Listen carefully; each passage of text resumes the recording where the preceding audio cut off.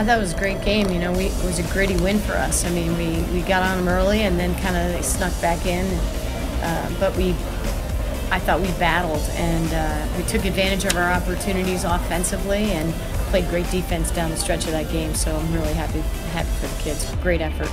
Yeah, I think so. I mean, there, you know, there were times when we would have liked to attack the middle a little bit more, but we did a good job possessing the puck in the zone today, using our defensemen, you know, changing the point of attack a little bit. So uh, overall, it was it was a solid effort. That's what she does best. She's a goal scorer, and uh, you know, we keep working on the other pieces of her game, but she's uh, you know she's got a nose for the net, and she has like, nerves of steel when it comes to scoring goals you know, good effort for Mash. I mean, I think we, we, we, get it, we just got to keep playing better in front of her, give her a little bit more support.